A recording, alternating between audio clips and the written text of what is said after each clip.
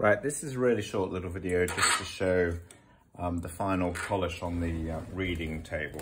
So um, I'm going to just put it on with a with a rubber just because it puts a very smooth uh, final finish on and just gives a better end result. So I've got my wadding on the roll. So I'm going to cut off a square. Only a small square because as you can see it's a very small amount of area to be polished. And you tend to make different size rubbers on depending on the size of the area to be polished. I'm going to take off the outer gauze because that's not necessary. And just like before try not to get any dust. Just like before you um, take the sheet. I'm going to put gloves on again really am fed up having dirty hands. Um, I'm sure a lot of people don't use gloves, but after years of having dirty hands all the time, I just find it better. So here's the wadding. I'm going to make it into a little square. You can see it's not going to be very big. Make a, fold it over at the front and double fold it and then make a point and then just sort of round it off a bit and push it up underneath and then you fill it with whichever polish you're using. In this case, it's button polish again because I'm trying to put a little bit of colour onto the wood. So button polish is great. It's not great if you don't want it looking slightly orange, but a lot of this old walnut was orange and if you're going to restore it how it was done originally, this is how it looks. I know the fashion isn't for an orange finish anymore, but I'm afraid this is traditional and there's a place. So I've put the sheet, it's an old sheet this is, I'll put it over and then you pull it to, over to the point and then just tuck it under and then twist it quite firmly. And what you're doing is creating quite a firm pad. You can see that's quite firm. Um, but at the moment, the bottom of it's very rounded, which isn't going to release polish very easily. So you just tap it a couple of times and that makes a flat bottom. Just blow off any dust. And then you just really, to apply the polish, it's very simple. Just go around like this. And you can see, it's looking very shiny the second I go over it. The reason it's matte before is because I put the polish on with a polishing mop, which is a brush, which you would have seen in the previous video. And I've lightly sanded it and then I've wire-wooled it just to get a great finish.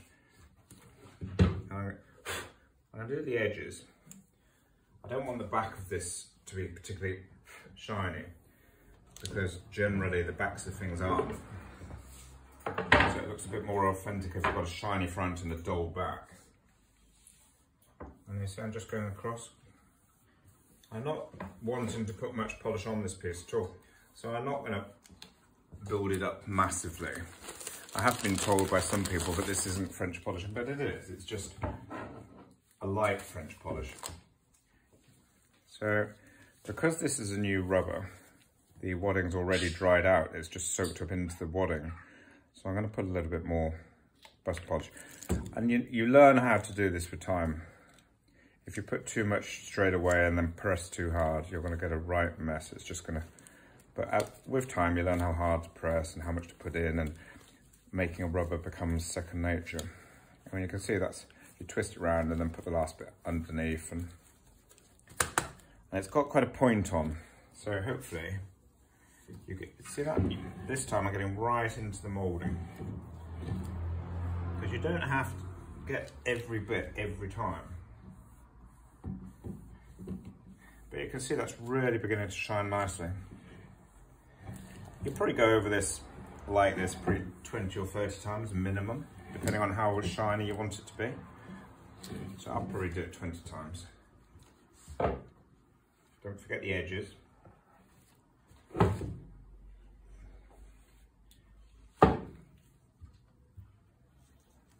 And then go over there.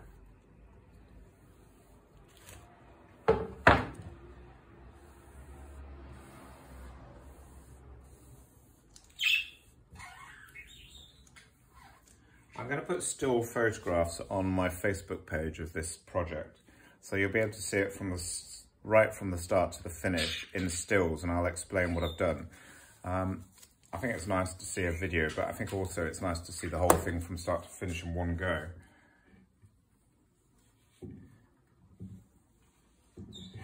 It sort of shows a bit more clearly the process, I think, if you show it on a sort of Facebook post. And it's kind of on. The grain's slightly empty, although I have grain filters. Um, I'm not going to get too upset about that. The end process after doing this, I'm probably going to wire wool it, and that will make the grains look slightly fuller because it takes the tops of the French polish off.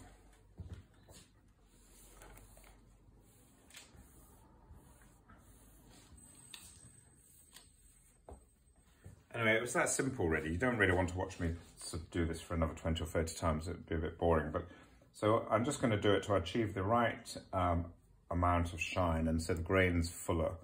Then I'm going to use my fine wire wool and wire wool and wax it and then I'll put it all back together. So um, that's how simple it is.